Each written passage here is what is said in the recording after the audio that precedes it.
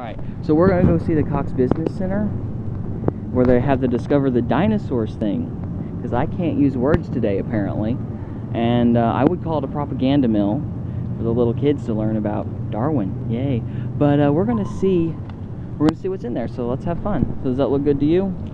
Can you see the lens? Yeah, I'd say that again, only looking at the camera. You weren't you weren't looking at the camera I very need to look at the camera.